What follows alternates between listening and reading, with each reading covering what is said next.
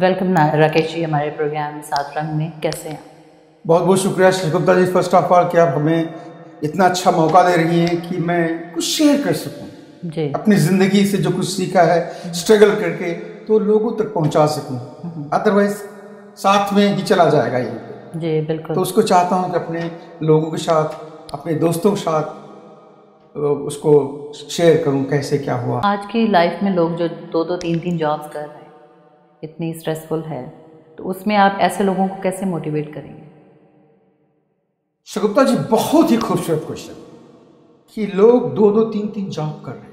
हम्म, एक हिंदी में एक, एक कहावत है वो वो एक जो हिरन होता है ना डियर तो हिरन की जो नाभि होती है उसमें कस्तूरी होती है। हम्म, तो उसमें कहा गया कि कस्तूरी कुंडल बसे मृग ढूंढत बनमाए। मतलब उसका है कि कस्तूरी उसके नाभि में होती है और उसे खुशबू आती है। लेकिन हिरन पूरे जंगल में दौड़ता रहता है। और ये कहाँ से आ रही कहाँ से आ रही?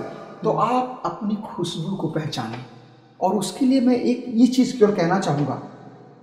जितनी भी आप कमाई करते हो अपनी जॉब से बिज़नेस से उसका दस परसेंट आप अपने ऊपर लगाना शुरू कर हम्म, कहने का मतलब है कि जॉब पे तो आप मेहनत करते हो आप अपने ऊपर मेहनत करना शुरू कर दो। इकबाल साहब ने कितनी खूबसूरती से कहा है कि खुद ही को कर बुलंद इतना कि हर तकदीर से पहले खुदा बंदे से पूछे बोल तेरी रजा रजा क्या क्या है? है? और आज जैसा वक्त कभी नहीं रहा है दुनिया में अपनी खुद ही को कर खुद ही को बुलंद इतना करने के लिए क्योंकि आज आप इंटरनेट है आप सोशल मीडिया है किताबें पढ़ना शुरू करें। आप क्या करना चाहते हैं? तो जब मैंने आपको बताया कि 10 परसेंट आप अपने ऊपर लगाएँ तो वो आप खाने में और कपड़ों में नहीं वो 10 परसेंट लगाएँ बुक्स में।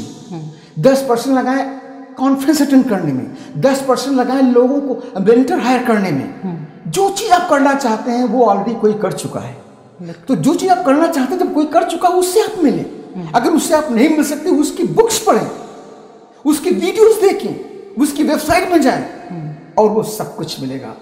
सगुप्ता जी एग्ज़ाम्पल देना चाहूँगा। जैसे मेरी अम्मी है तो मेरी मम्मी भिंडी बड़ा अच्छा बनाती है बैंगन अच्छा बनाती है आपकी मम्मी हो सकता है निहारी हलीम और पाया अच्छा बनाती है। हर एक की मम्मी कुछ ना कुछ अच्छा बनाती है। सगुप्ता जी आप बताएँगे क्यों ऐसा होता है कि हमारी अम्मा इतना अच्छा खाना क्यों बनाती है?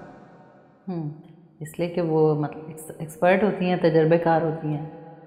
यू सेट वेरी वेल सही बोला आपने। क्योंकि हमारी जो अम्मी हैं वो पिछले 40 साल से 50 साल से 60 साल से वही कर रही हैं। कर रही हैं।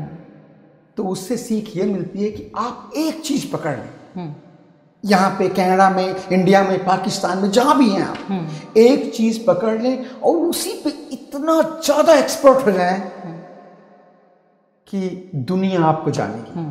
और आप अपने आप भागी नहीं चारों तरफ़। दो तीन जॉब करने की कोई ज़रूरत नहीं। एक जॉब में इतना लग जाए आप।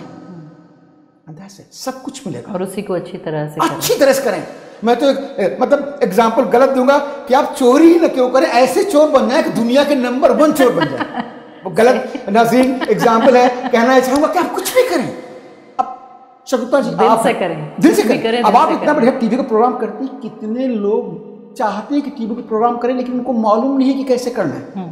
अब आप क्या करें कि एक अच्छा सा कोर्स बना लें। आप हम इंटरव्यू करके एक चार वीडियो का कोर्स बना सकते हैं और उसको आप पब्लिश करें लोगों को इसी तरह की जो चीज़ भी आप अच्छा कर रहे हैं उसके आप एक्सपर्ट बन जाए। एक नाजरीन अगर बुक्स पढ़ने का शौक है किसी को एक बुक जिसका नाम ही है वन थिंग पढ़ जाए उसको। बहुत मज़ा है ज़्यादातर बुक्स आज की डेट पे यूट्यूब में फ्री में पड़ी हुई हैं। आप बुक पढ़ने की आदत डालें और वो चीज़ आपको बहुत ऊपर लेके जाए